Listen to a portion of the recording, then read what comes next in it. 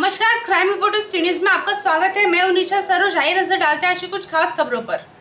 Prayagraj जसरा block के मनरेगा में आए हुए पैसे का दुरुपयोग विकास खंड जसरा में मनरेगा में आए हुए धन का दुरुपयोग खंड विकास अधिकारियों द्वारा किया जा रहा है। कई प्रधानों का आरोप है कि 2018 और 2019 के ब्लॉक में मनरेगा का जो भी पैसा आता है, वह बीडीओ जसरा द्वारा केवल कुछ ही गाँवों को ही पैसा दिया गया है।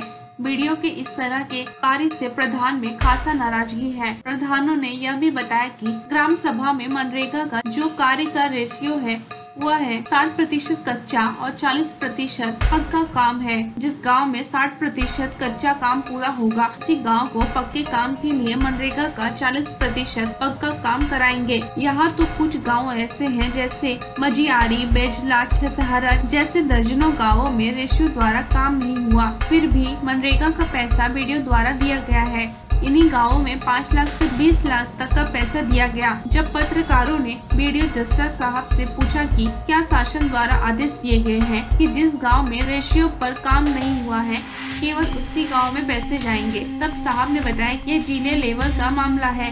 हम केवल ब्लॉक स्तर से 60 प्रतिशत और 40 प्रतिशत का काम करेंगे। वीडियो साहब ने यह भी बताया अगर उच्च अधिकारियों से जाँच कराई जाए तो मनरेगा का भ्रष्टाचार की बड़ी पोर्ट खुलेगी।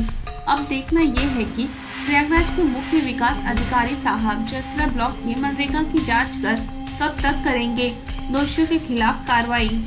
सर, आपसे मेरा एक सवाल है। जिस तरह कुछ ग्राम प्रधानों ने आरोप लगाया है कि मनरेगा का पैसा जैसे रेशियो आपका कच्चा काम कराने का या पक्का काम करने का साठ चालीस का है तो उस रेशियो में कुछ गाँव में पैसा गया है।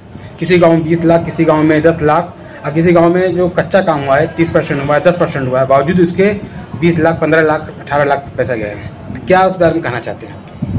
देखिए, आरोप के संबंध में आरोप लगाने के लिए स्वतंत्र है, लेकिन मनरेगा की जो गाइडलाइन है, मनरेगा के जो शासनादेश हैं, उसमें उनतीस जून 2016 में भारत सरकार के ज्वाइंट सेक्रेटरी आदेश है, उसमें लिखा गया है कि इसका जो रेशियो है, वो डिस्ट्रिक्ट लेवल पर देखा जाएगा। इसके पश्चात भी ब्लॉक लेवल पर हमारा प्रयास रहता है। सिक्सटी फोर्टी का रेशियो का वायलेशन न हो। हमारी यूनिट एच हो मैं ब्लॉक लेवल पर वो रेशियो देखता हूँ। जिस तरह ये आप लगाया कि जो पैसा आया है, कुछ ही गाँव में पैसा मनरेगा का गया है और कुछ गाँव में नहीं गया है। क्योंकि आपके डोंगल से, आपके अधिकार से पैसा जाता है तो जैसे तिरसठ गाँव हैं तो आप जो आरोप लगा रहे हैं प्रधान कि कुछ गाँव में गया है और गाँव में नहीं गया है, उस पर क्या करना चाहते हैं देखिए, मनरेगा में कोई ऐसा नहीं है कि किसी पैसे को भेजते हैं। उसकी शुरुआत ग्राम पंचायत से होती है। कारीना बनती है, उसका काम एस्टिमेट बनता है सेंक्शन होता है टी होता है, प्रशासन स्वीकृत होती है। ये कहना कि हमने पैसा किसी गाँव में दे दिया ये ऐसा नहीं। उसकी शुरुआत ग्राम पंचायत स्तर से ही होती है। जिन लोगों ने कार्यों की प्रशासन स्वीकृत कराई और रेशियो में हमने आपको सुन बता दिया कि रेशियो डिस्ट्रिक्ट लेवल पर देखने के लिए प्रयागराज से हरिशंकर पटेल की एक रिपोर्ट